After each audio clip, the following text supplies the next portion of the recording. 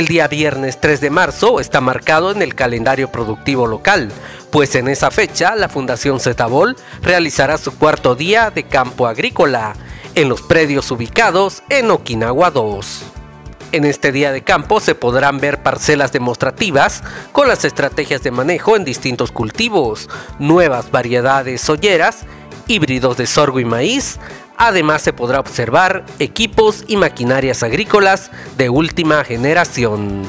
Cabe recordar que en su tercera versión visitaron a este evento cerca de 600 productores y participaron 33 empresas.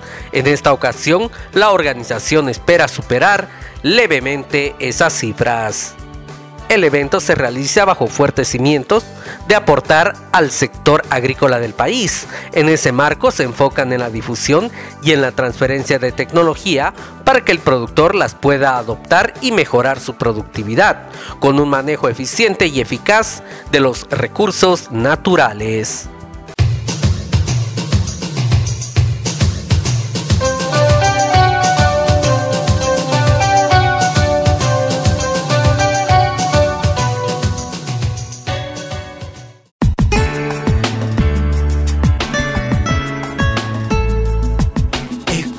llorar.